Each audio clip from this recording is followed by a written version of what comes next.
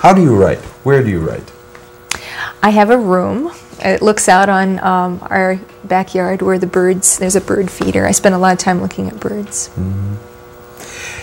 There's a lot of people who are poets, um, mm-hmm. and they have no sense really of, of how good or bad they are. You know, but, mm-hmm. but a lot of people write who are not um, published or at least not exposed much to, to the, the, the system.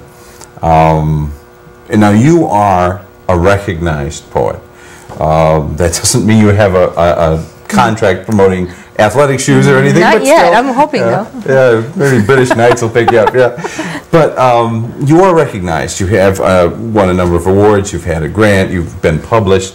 Um, for somebody who is a poet and would like to get a sense of their work, um, no one is expecting, I think, to make a lot of money on poetry, mm -hmm. But um, aside from, you know, like world of poetry uh, contests and whatnot, um, how would somebody um, test their poetry? Send it out. There are hundreds of small literary magazines in this country. Uh, despite the fact that poetry is almost unheard of uh, in most circles, there is an amazing underground of people that are writing and publishing each other's work.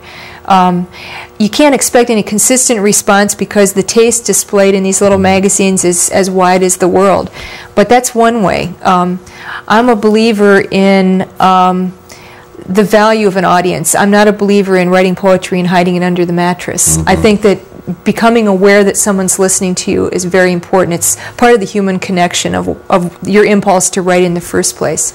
Um, show it, uh, get involved in a writing group. I think that's a good way to start. You may not agree with what people are saying about your work, but at least you're showing you're showing a little guts, and that's you got to show some guts to be a good writer anyway. So mm -hmm. you might as well give that a shot. Taking a writing course can be a way to start. Um, there are writing conferences all the time around the country. Um, those are all ways to start. They take guts. It takes a little bravery, but there can be some real rewards too. I think the best thing about getting feedback is not necessarily that you want to always please your audience, but you want to understand what they're seeing. Right. Um, maybe mm -hmm. you meant to do something and it is not connecting, and right. you should at least appreciate the mm-hmm. impact mm -hmm. of what you're doing. Mm -hmm. Although sometimes there are those things that just please you, and that, right. that is That's enough. Fine. But still. That's fine. The writer has the last word, as far as I'm concerned. Where would somebody find out? For example, the um, you made reference to a number of magazines. Mm-hmm. Where do you find them? The uh, library doesn't have them all. You know? Well, the library has Poets Market, though, which is a reference yeah. book that'll list almost a, a, lot of them. Writer's Market is another um, guide that you can get at the reference department of the library. Mm -hmm. uh, U of M Flint's library has quite a collection of them that they subscribe to. Um, those are good places to start, and any reference librarian can help you go from there. Now, Flint has a very healthy mm -hmm. poetry scene. Mm -hmm. uh, uh, in fact, for a Midwestern medium-sized industrial Rust Belt mm -hmm. city, mm -hmm. Flint has an amazingly vibrant yes, art scene remarkable. in general. Yeah. Uh, why do you think?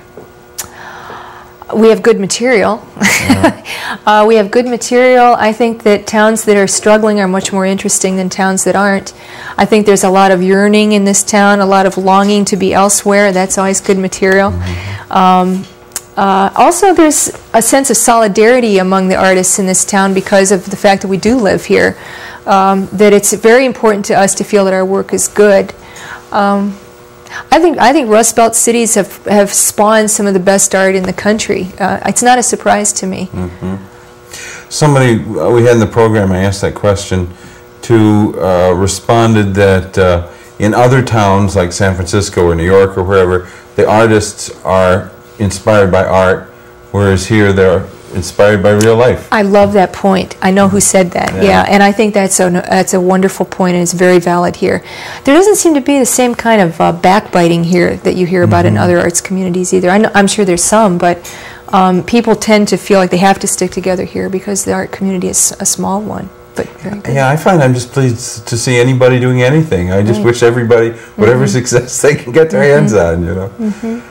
Um, we're almost to the end of our program, and I'm wondering if there's a poem that is your favorite or one that you would like to share. We only have about a minute and a half a left. minute? I don't know if I have one. That, why don't you ask me another question instead? Because I don't think there's one okay. I can pick in a minute and a half. Okay.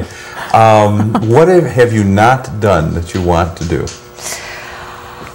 I would like to uh, have a book length um, manuscript, I think, published. I don't know if that's going to ever happen. Um, I'd like to do, a, oh, I have lots of poems still to write. Um, and I'd like to, um, I, I would like to have my poems take more chances.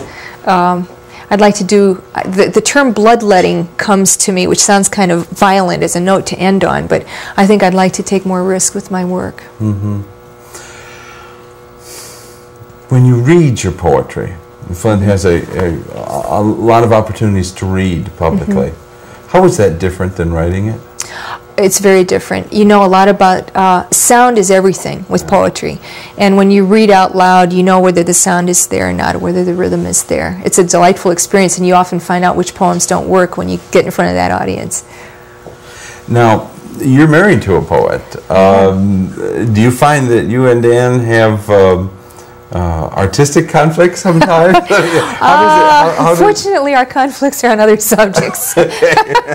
um, we have very different styles, yeah. um, but and I think that's good because our styles um, we we're not writing. We can write on the same subject and come up with completely different poems. Mm-hmm. But uh, no, we don't. Usually, we've learned that when the other person presents a new piece of work to the other, they'll say. That's very nice. Keep writing. so. Okay. Well, we're out of time already. Um, our guest has been Jan Worth. Jan, thank you for being with us. Thank you, Michael. It's uh, been a pleasure. It, it, has been fun. I've liked having you here.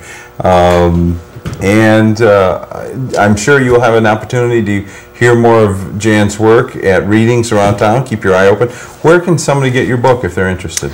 Um, it's at ArtSource and it's at the uh, U of M Flint bookstore. Okay.